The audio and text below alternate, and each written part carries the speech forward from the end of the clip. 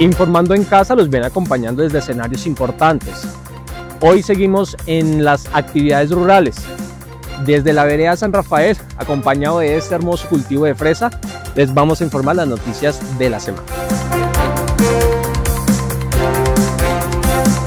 La Corporación del Consejo Municipal inició esta semana las sesiones extraordinarias para debatir el plan de desarrollo facultativo a nuestra casa, la línea número uno, nuestra casa segura, participativa y resiliente. Fue presentada por la Secretaría de Gobierno, Participación Ciudadana y Gestión del Riesgo, que ilustró en la plenaria sobre sus principales metas y estrategias. Seguidamente, se presentó la línea 2, Nuestra Casa Transforma Vidas y Hogares, que incluye programas de salud, educación, arte, cultura, deporte y desarrollo social, algunos de los cuales fueron discutidos en la plenaria. Estas líneas contienen diversas estrategias y metas que han sido ampliamente debatidas enriqueciendo el plan de desarrollo municipal. Sigue el avance en vivo de la discusión del plan de desarrollo en la fanpage del Consejo Municipal dimos inicio a la campaña de concientización vial por parte de la Administración Municipal y en colaboración con la Fundación Sembradores de Luz y Recolectores de Esperanza, los cuales en estos 15 días realizarán actividades para generar conciencia en los facatativeños y visitantes de los buenos comportamientos en la vía desde la prevención.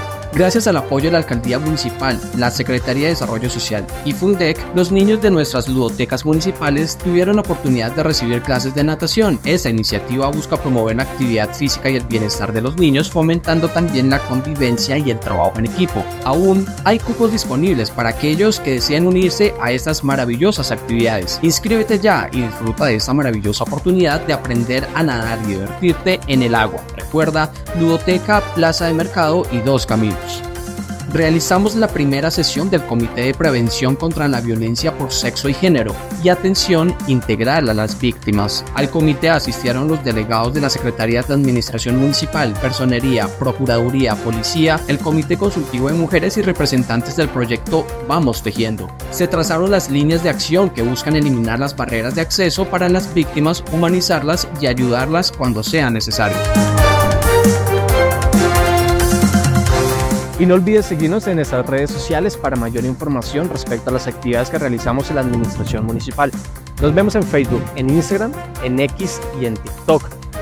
Hoy nos despedimos con este hermoso cultivo de fresa demostrándoles una de las principales actividades económicas de la parte rural.